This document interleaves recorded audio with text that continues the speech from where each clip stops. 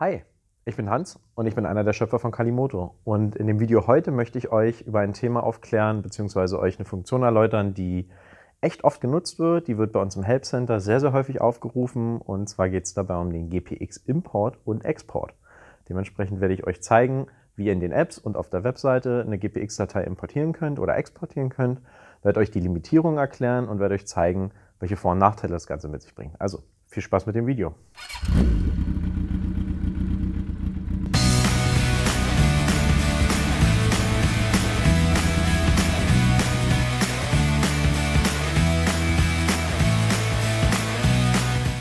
Was ist eigentlich eine GPX-Datei?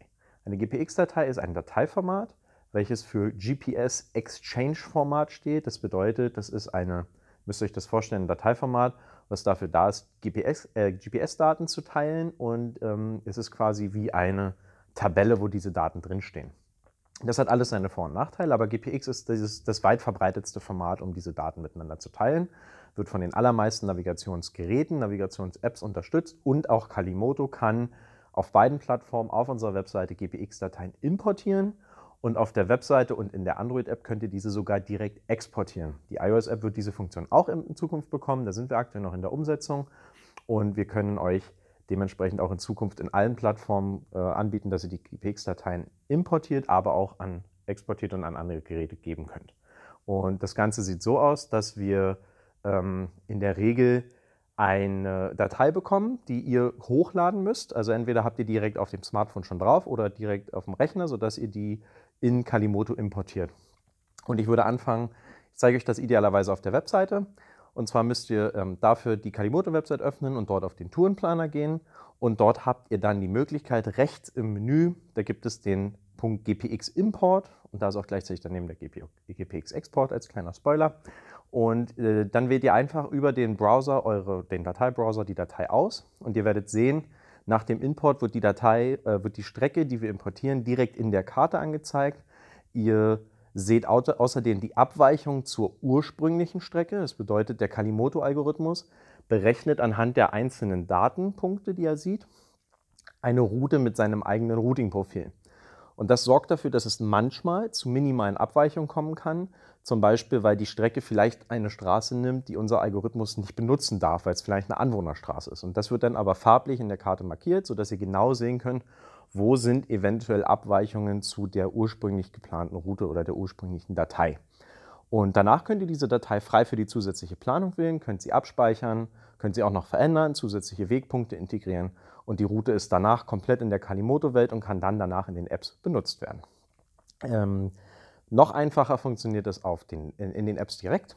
Ihr könnt die GPX-Datei sowohl auf Android als auch als, äh, auf iOS direkt öffnen. Das bedeutet, ihr werdet, ihr klickt im Dateisystem auf die GPX-Datei rauf und wählt unten in den vorgeschlagenen Apps Kalimoto. Dann wird die entsprechende GPX-Datei in die Kalimoto-App importiert und auch hier seht ihr automatisch den Verlauf der Strecke, die importiert wird und die Abweichung zur ursprünglich geplanten Route, falls diese vorhanden sein sollte. Auch hier habt ihr die Möglichkeit, danach die Route zu verändern, Routenpunkte anzupassen, Points of Interest zu integrieren und somit die Route, die ihr importiert habt, ganz individuell auf eure Bedürfnisse anzupassen, sie danach zu speichern, um sie in eurem Profil abzulegen oder sogar direkt für die Navigation zu nutzen. Das ist alles bereits jetzt in der iOS und in der Android-App möglich. Was, wo sie beiden sich unterscheiden, ist, dass ähm, die Android-App mittlerweile sogar die Möglichkeit hat, das unter dem Tourenmenü zu machen, dass ihr einfach, wenn ihr unter Meine Touren geht, unter den Reiter links unten, ähm, dann habt ihr oben rechts das Kontextmenü mit den drei Punkten und da gibt es auch noch die, die Funktion GPX Import, wo ihr dann die Datei auch direkt auswählen könnt. Das sind sozusagen die Möglichkeiten, wie ihr eine vorhandene GPX-Datei die ihr von, einem, von einer Webseite runtergeladen habt oder die euch vielleicht ein Freund zur Verfügung stellt, direkt in die Apps oder auf die Webseite importieren könnt. Zusätzlich bietet die Webseite und die App, die Android-App zu, äh, zurzeit schon die Möglichkeit, auch GPX-Dateien aus Kalimoto-Routen zu exportieren.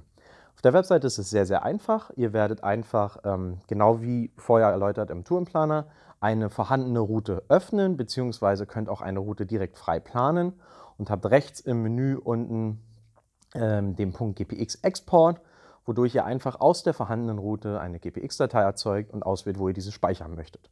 Ähm, ganz wichtig wäre es zu wissen, dass die GPX exportierte Datei in der Regel mit allen anderen Systemen kompatibel sein sollte. Nur trotzdem können wir das nicht gewährleisten, weil jedes System automatisch halt anders rechnet mit den Informationen, die ihr dort hochladet. Es kann also sein, dass euer Navigationsgerät, das Garmin oder ein TomTom oder ein anderes Navigationsgerät, die Datei mit seinem eigenen Routing-Algorithmus verarbeitet und dadurch es zur Abweichung kommt zu der ursprünglich geplanten Route von Kalimoto.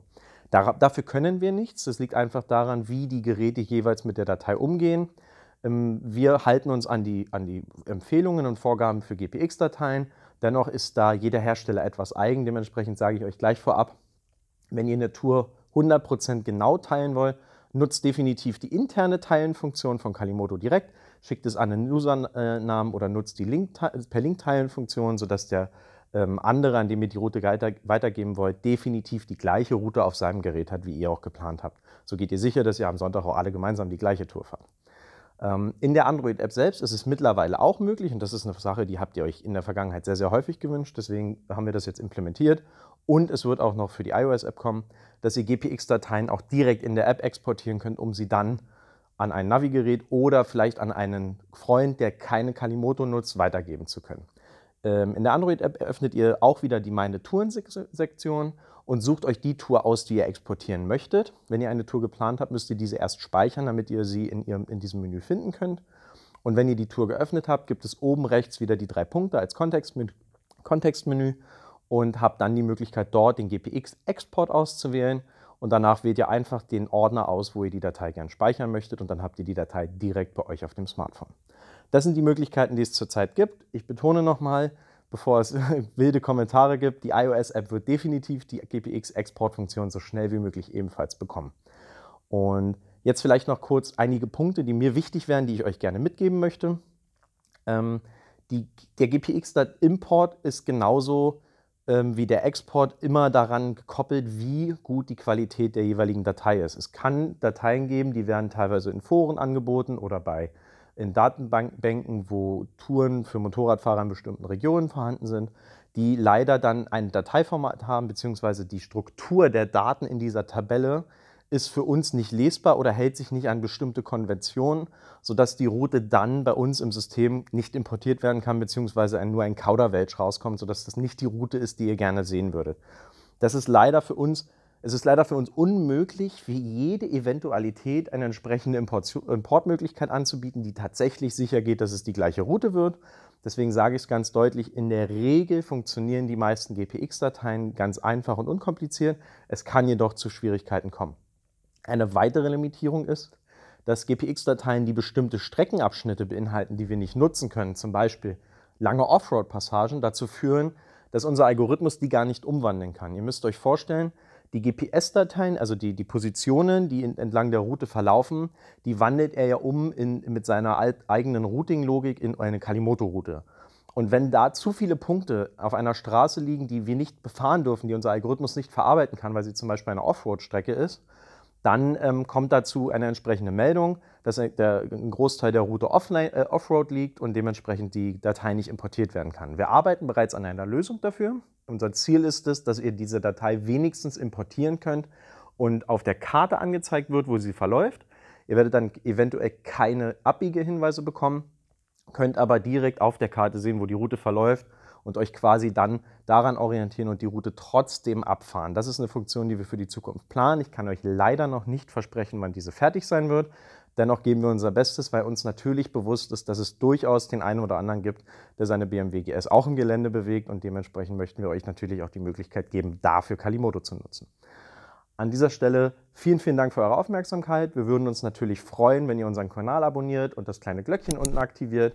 Wenn ihr Fragen dazu habt, gerne in die Kommentare. Wir beantworten jede Frage und freuen uns auf euer Feedback. Und ansonsten wünsche ich euch weiterhin viel Spaß mit Kalimoto, allzeit gute Fahrt und bis bald.